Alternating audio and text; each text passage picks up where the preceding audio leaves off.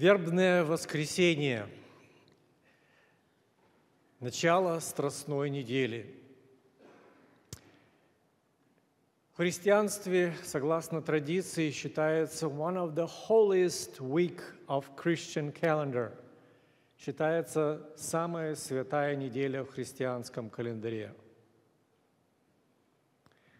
Еще эту неделю называют страстной. Почему? Потому что это то, та неделя, где мир глумился над Богом, и мы с вами, кто видели фильм Passion of the Christ, могли себе частично представить, что происходило в эти трагические дни для Христа.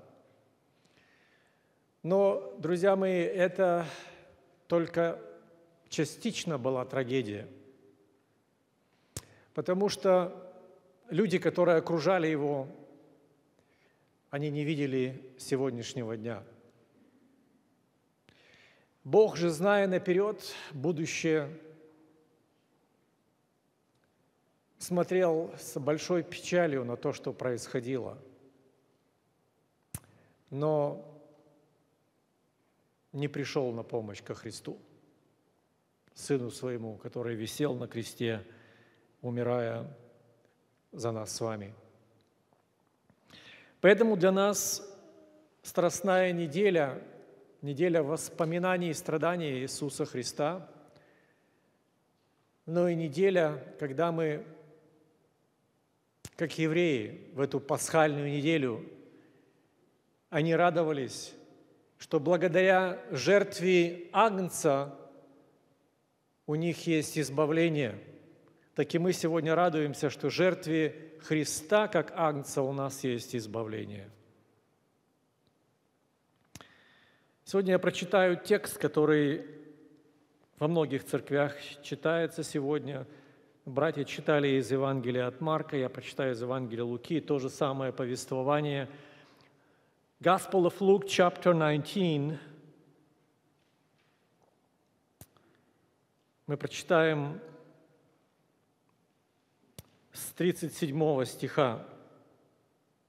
Лука, Евангелие Луки, 19 глава, с 37 стиха.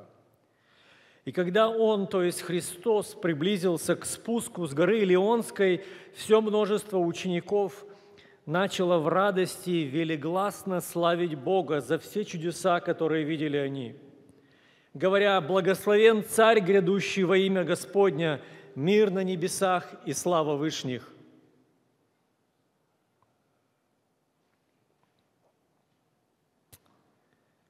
Фарисеи начали упрекать людей – и Христос им сказал, «Сказываю вам, если они умолкнут, то камни возопьют». И 41 стих. «И когда приблизился к городу, то, смотря на него, заплакал о нем и сказал, «О, если бы ты, хотя всей твой день узнал, что служит к миру твоему, но это сокрыто ныне от глаз твоих». Еще раз 42 стих. «О, если бы ты, хотя всей день узнал, что служит к миру Твоему, но это сокрыто ныне от глаз Твоих». Итак, тема очень простая. Что служит к миру? На английском «things that make for peace». Things that make for peace. Это английский перевод этого стиха что служит к миру.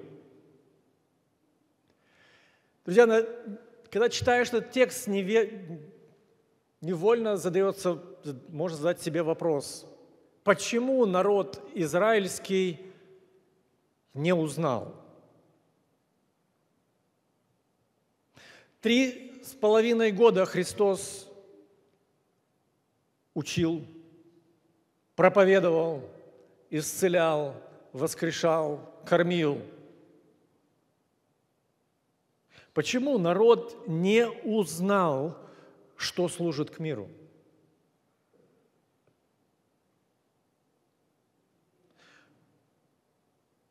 У меня вопрос, А мы с вами знаем, что служит нашему миру.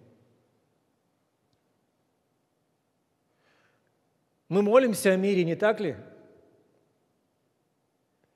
Ну, наверняка молимся о мире в своей жизни, чтобы у нас мир был в сердце, в мире, чтобы мы жили в своих семьях, в поместной церкви, в стране, где мы живем. Мы молимся о мирном небе. Мы молимся о странах, где сегодня войны идут, чтобы Господь послал свой мир. А что, разве Бог не заинтересован в мире? Конечно – когда Христос пришел на землю, слава Вышних Богу, на земле мир в человеках, благоволение. Это весть ангельская была. Христос был заинтересован в мире. Почему? Потому что пророчество, которое было сказано Иисусе Христе, что придет желаемый всеми народами куда в этот храм, и на месте этом я дам вам мир – Помните? Я дам вам мир, потому что желаемый придет. Но почему люди не поняли? Вы думаете, люди в то время были менее религиозные, чем мы с вами сегодня? Но намного более религиозные. Может, они намного меньше знали Писание, большинство из них знали Писание наизусть намного больше, чем мы с вами – может, они просто молились меньше, но они молились больше, чем мы молимся. Может, они в храм посещали реже, но храм, синагогу посещали намного больше, чем мы посещаем. Знаете, вопрос для нас, а знаем ли мы сегодня, что служит нашему миру – Ведь трагедия Иерусалима – это может быть трагедия моей жизни. Можно проходить в церковь всю жизнь и так и не понять, что служит миру моему. Можно быть всю жизнь христианином и так и не понять главного, что принес Христос. Итак, что должны были в то время иудеи понять и уразуметь, когда говорил Христос, что вы не узнали, что служит к вашему миру. Я бы хотел эти пять основных моментов, которые, о которых говорит нам Писание. Первое. Откройте, у кого есть деяния святых апостолов – 10 глава, 36 стих. Мы будем читать различные тексты Священного Писания. 10 глава, 36 стих.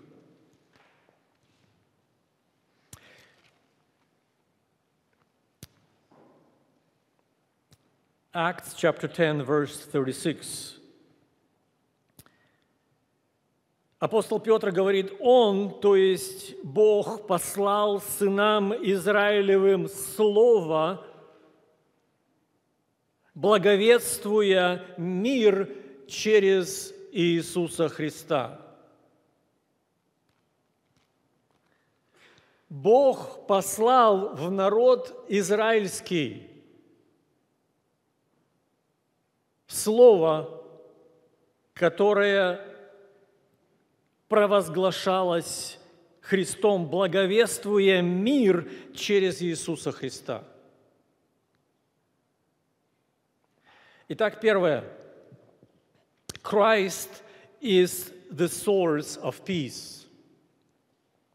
Христос есть источник нашего с вами мира. Друзья мои, можно молиться о мире сколько хотите. Но пока Христос не встанет центром нашей жизни – того мира, который Он принес на эту землю, мы с вами не испытаем.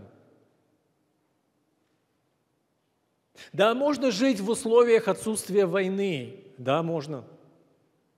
Да, можно мириться со своими родными и близкими и не быть с ними в конфликте. Да, можно. Но наша душа прежде всего воюет, знаете, не с миром, который за ее пределами, а с миром, который внутри нас. Апостол Павел говорит, бедный я человек, во мне внутри происходит война, потому что плоть моя желает греховного, дух мой желает то, что угодно Богу, и бедный я человек, кто избавит меня от всего? И дальше он говорит, тело смерти – и дальше говорит, но благодарение Господу моему Иисусу Христу, который дает мне торжествовать во Христе Иисусе. Друзья мои, Иисус Христос есть наш с вами мир. И те, кто не знают Христа, они не знают, что такое мир. Ведь тема шалом или тема мира в еврейском народе существовала уже почти тысячи лет. И эта тема для евреев не была какой-то странной или чуждой для них. No. Но когда пришел Христос, почему-то они в нем не увидели воплощение мира – они не видели в нем этого Бога, который принес мир на землю. О, если бы ты хотя бы всей твой день в этот период времени узнал, что служит к твоему миру. Христос говорит, почему вы не узнали меня? Почему вы отвергли меня как своего Мессию, своего Спасителя. Друзья мои, это печально, может быть, звучит, но можно ведь посещать сегодня храм Божий, но не иметь личное общение с Богом. Еще один текст, который подтверждает это же, Послание Ефесянам, 2 глава, 4 стих. Послание Ефесянам, 2 глава, 4 стих. Откройте, пожалуйста. Послушайте, что говорит апостол Павел. Ephesians chapter 2, verse 14.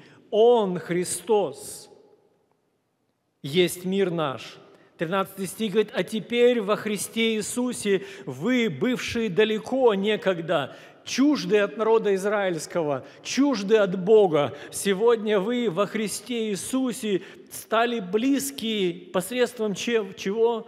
Посредством крови Иисуса Христа. Ибо Он, то есть Христос, есть мир наш, соделавший из обоих, из кого обоих? Иудеев и язычников, соделавший что? Одно теперь. И разрушивший стоящую посреди преграду.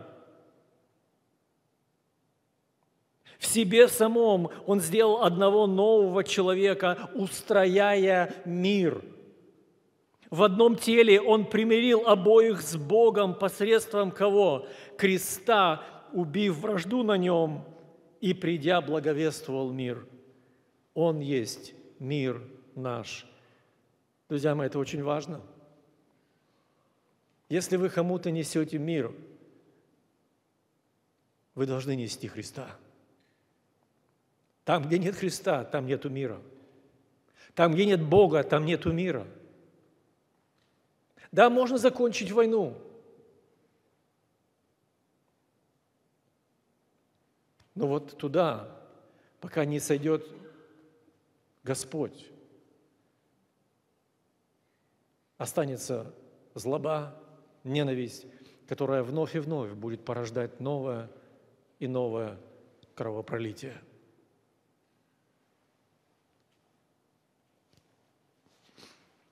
Второй очень важный момент.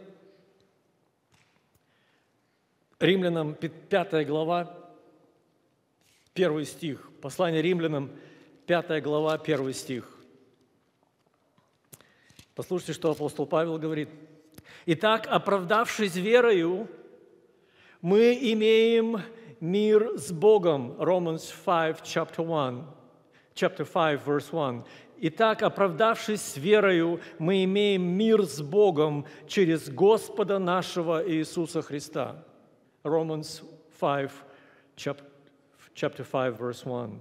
Оправдавшись верою, мы имеем мир с Богом через Иисуса Христа. Каким же образом Христос принес людям мир? Через Иисуса Христа, через жертву Иисуса Христа. Оправдавшись верою, мы имеем мир. Ведь Он, принеся этот мир, он не становится автоматически нашим. Мы должны получить оправдание верою. Как это происходит? А те, которые приняли, да, услышав, приняли и открыли свои сердца, тех стали детьми Божьими, те получили эту благодать, получили это оправдание верой. И когда оправдание, когда Бог смывает наши грехи и освобождает и делает нас чистыми, в нашу жизнь приходит мир. Друзья мои, это очень важно. Faith True faith leads to peace. Истинная вера, она должна быть тем, который предшествует миру, который должен прийти в нашу жизнь. Вера, через которую мы получаем оправдание, вера, которой мы получаем прощение грехов, верой, которой мы получаем жизнь во Христе Иисусе, благодаря вере, которую через которую мы становимся не только детьми Божьими, но и наследниками Царства Его, Писание говорит нас, нам. По этой вере, друзья мои, оправдавшись, мы имеем мир. Мы имеем мир. У меня вопрос, скажите, вы это испытали в своей жизни – народ теснил Христа, он слушал Его проповеди, он слушал Его Слово. Христос говорит, но почему вы не хотите ко мне прийти, чтобы иметь жизнь? Почему вы не хотите верой принять то, что я предлагаю, чтобы иметь жизнь? И Христос смотрел на этих людей и говорит, почему вы не захотели – Это наш с вами выбор. Вы знаете, в чем, наверное, еще большая трагедия? Когда мы молимся о мире, но не хотим мир принимать в свою жизнь. Когда мы говорим, Господи, дай мир, Бог говорит, давай, я тебе даю. А мы говорим, no, no, no, я не про этот мир прошу тебя. Господь желает сегодня каждому присутствующему здесь дать этот мир. И Он хочет, чтобы мы узнали, что служит, для того, чтобы, чтобы служит миру нашему, друзья мои. Это наша живая вера в Господа Иисуса Христа, Спасителя нашего. Примите Его мир. Вы знаете, когда наша душа очищается от всякого греха – наступает такой мир, который человек, не испытав этого, знать не может. Примите его. Третий очень важный момент записан в послании римлянам, 8 главе, 6 стих. Переверните страничку буквально одну, 8 глава, 6 стих. Посмотрите, что пишет апостол Павел. Он говорит, что не знаете ли вы, что помышления плотские – суть смерть, а помышления духовные, что есть? Есть жизнь и есть мир. Thinking habit influence our peace. Помышления духовные – мир – Помышления плотские – вражда, ненависть, проблемы, конфликты, войны. помышления духовные, жизнь и мир. Что значит помышления духовные? Оказывается, то, как мы с вами позволяем нашему разуму и мыслям функционировать, мы будем иметь, мы познаем мир, прежде всего для себя, и будем носителями этого мира, либо мы будем жить во вражде и в ненависти.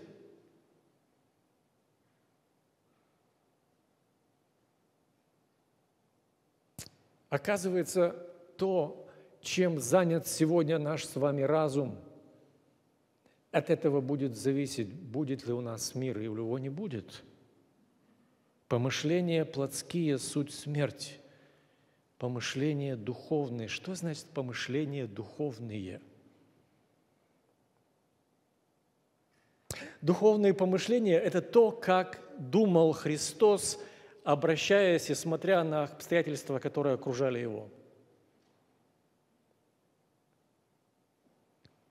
Как он смотрел и относился к вещам, которые его окружали, как он относился к людям, которые его окружали, как он относился к мытарям, как относился к грешникам, относился к своим врагам и так далее, и так далее.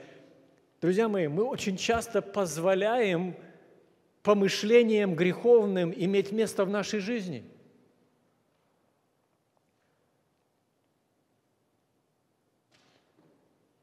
Помню, мы однажды идем к кассе, кассирша стоит, рассчитывает, со мной рядом один человек стоит и говорит мне, слушай, она такая злюка. Я говорю, ты откуда знаешь? А у нее на лице написано –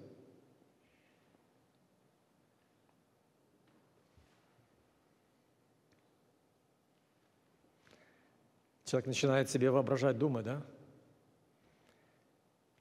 Слушай, говорит, она точно нас обслуживать нормально не будет. Я вижу, что она нас ненавидит. Мы иммигранты, она нас ненавидит. Я такого, говорю, я не вижу.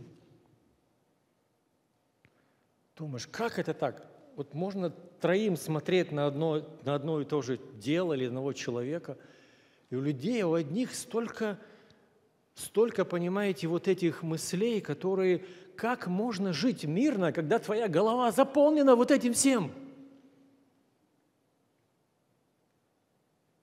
Что все вокруг меня одни враги, что вокруг меня вот это. Так, с кем ты разговариваешь по телефону? А что вы против меня разговариваете? Что вы против меня говорите? А вы против меня? Люди становятся паранойей. Люди становятся, они спать не могут. Мы говорим о мире? Нет, потому что это плотские эти мысли, которым мы позволяем, чтобы они не только в нашу голову, а потом спускались в наше сердце и выходили через наш язык, распространяли вот это поражение вокруг нас. Помышления плотские несут в себе смерть, помышления духовные имеют в себе жизнь. Вы помните, я вам приведу простой пример помышлений плотских и духовных. Пришел Христос к богатому дяде. Воссев своими учениками, он начинает общаться. Заходит женщина, начинает выливать дорогое масло на его на ноги, волосами своими утирает – Послушайте помышления плотские. О, если бы он знал, какая женщина к нему прикасается. Другой рядом стоит и говорит, а он что, учитель? Он что, разве имеет право, чтобы женщина к нему прикасалась, если он равин? И вот они собираются, и все начинают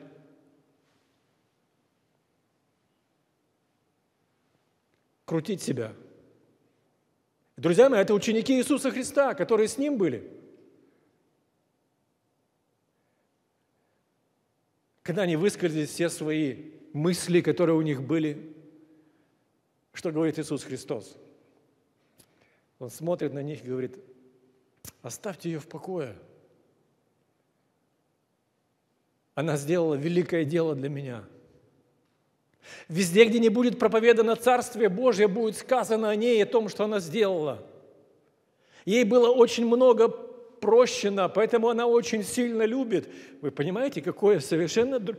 На одну и ту же женщину смотрят люди, которые называют себя христианами. И такое радикальное противоположное мнение той, той или иной ситуации. Почему? Скажите, а как можно иметь мир, когда ты наполняешься вот этими мыслями постоянно? И общество, в котором мы сегодня живем, средства массовой информации пытаются наполнить наши головы плотскими мыслями.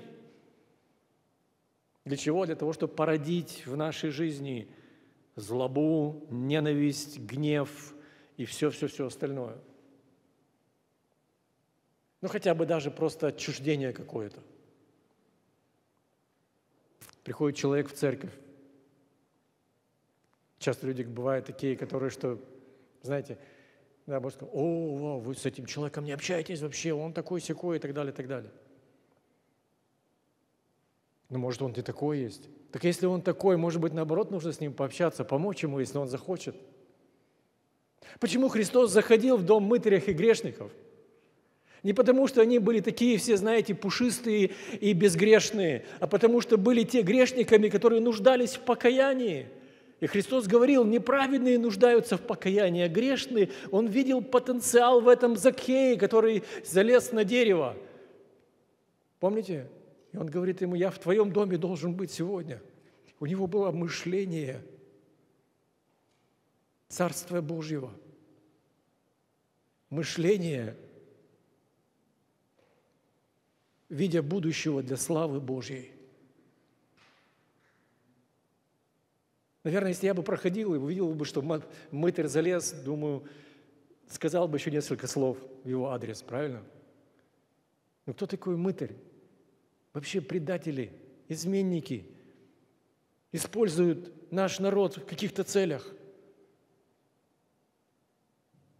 Христос ему говорит, я сегодня, мне нужно в твоем доме быть. Друзья мои, очень важно наблюдать за тем, как работают, работает наше мышление. Если мы хотим не упустить и не растратить, и не разбазарить этот мир, который Господь сегодня хочет в нашу жизнь принести. Помните, что о Христе сказано? Он страдаем, он страдал добровольно и открывал уст своих, да? А там сказано, а мы думали, что он поражу, пораж, поражен, наказуем Богом. Люди смотрели на него и думали, вот Бог его наказывает. Друзья мои, наше мышление, оно потом воплощается в поступки, и мы теряем мир Божий. Четвертый очень важный момент. Галатам 5 глава, 22 стих. Наверняка вы знаете, это плод Духа. 5 глава, 22 стих. Плод же Духа, апостол Павел пишет, есть любовь, радость и дальше мир. Work of the Holy Spirit produce peace in our lives. Что служит нашему миру, друзья мои? Это чувствительность к работе Духа Святого в нашей жизни – Иногда мы позволяем и угошаем Духа Святого, Его голос. Иногда Он говорит очень нежно, не делай это, не говори это, не ходи, не надо тебе этим заниматься.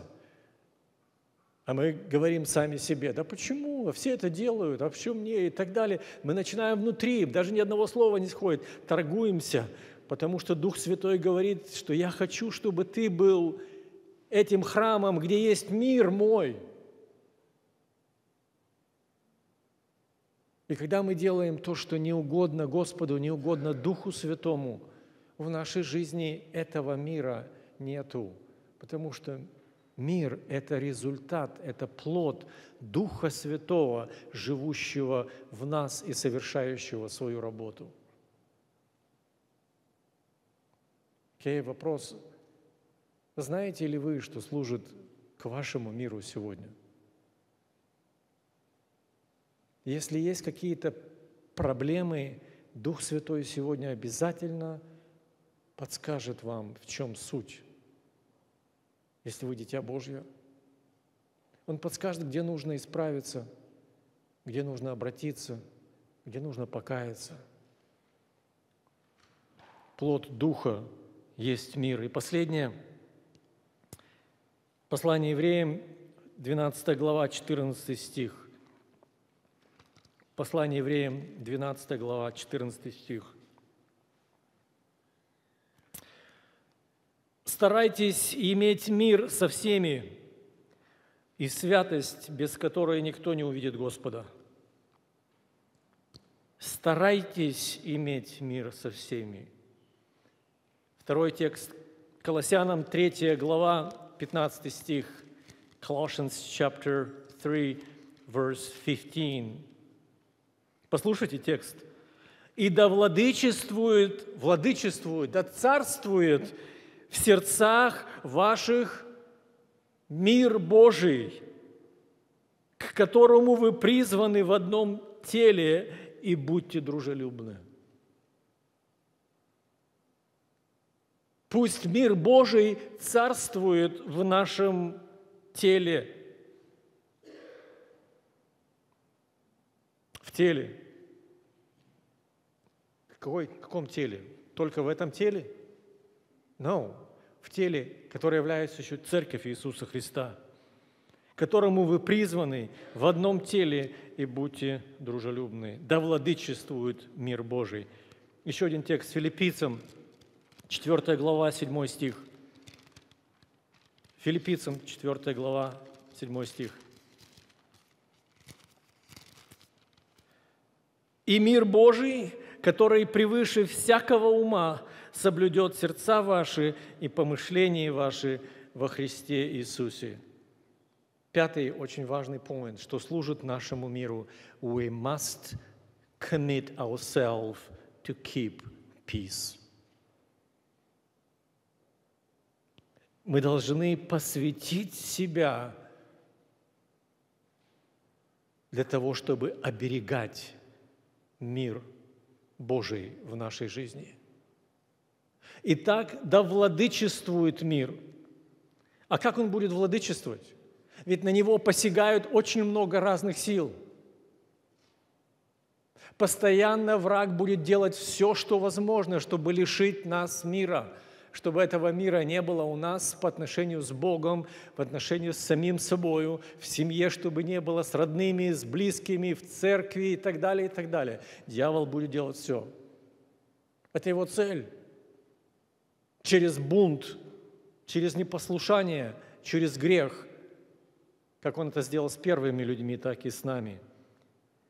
Чтобы нам понять, что служит нашему миру – это наше постоянное посвящение жить и оберегать мир.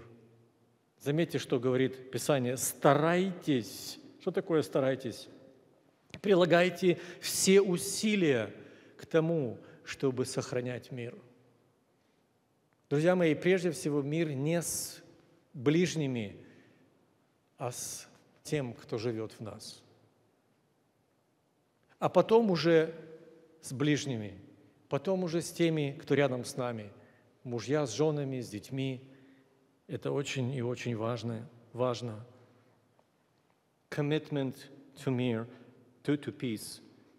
И последний текст, и мы вместе с вами помолимся. В своей Нагорной проповеди Христос сказал такие слова, Матфея, 5 глава, 9 стих. «Блаженные миротворцы – ибо они будут наречены сынами Божьими. Блаженные шалом makers. Блаженны те, которые творят мир. Интересно, что когда люди цитируют политики этот текст, они просто думают, что это то, те, которые, э, знаете, двух сторон, две стороны сядят, сажают за стол переговоров. Частично, может быть, где-то имеется и в этом смысл.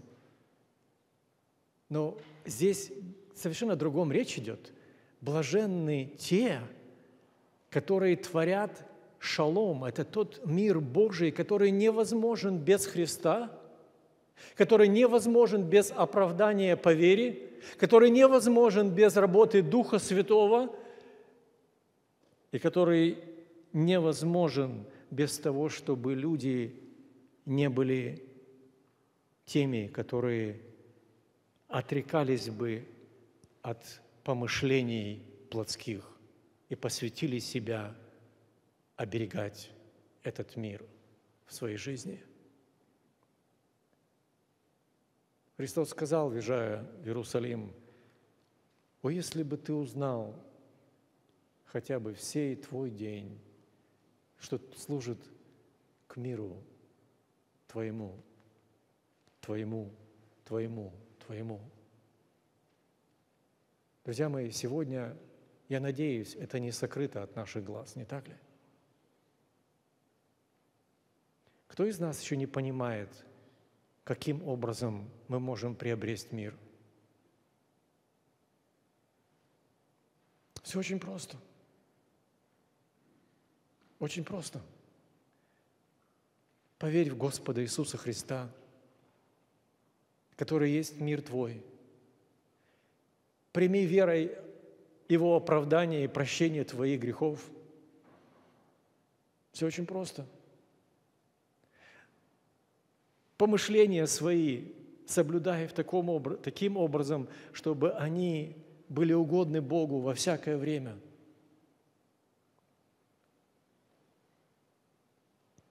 И делай все от себя возможное, посвящи себя на то, чтобы этот мир, который ты получаешь, сохраняя его каждый день своей жизни. Все очень просто. Но почему-то народ израильский не понял – И Христос говорит дальше, и потому как ты не узнал, что служит к миру твоему. И дальше он говорит слова, я не хотел их читать сегодня, там очень печальные слова. Придут на тебя дни, которым ты не будешь рад, потому что ты не узнал времени своего посещения. Вы знаете, как хотелось бы, чтобы каждый, кто здесь сидит – узнал этот день для себя. Может быть, это ваш день. Может, когда мы сейчас будем молиться, вы скажете, Господи, я принимаю Тебя как мир свой. Я хочу иметь Твое оправдание, иметь мир с самим собой, потому что грехи, которые я делал, они мучают меня. Я хочу жить свободным от того, иметь мир, покой в своей жизни – это слово «мир» в еврейском контексте шалом означает благоденствие, спокойствие, покой, мир, умиротворение и так далее. Много-много других синонимов. Пусть он станет частью вашей жизни. Да благослови вас Господь. Давайте помолимся.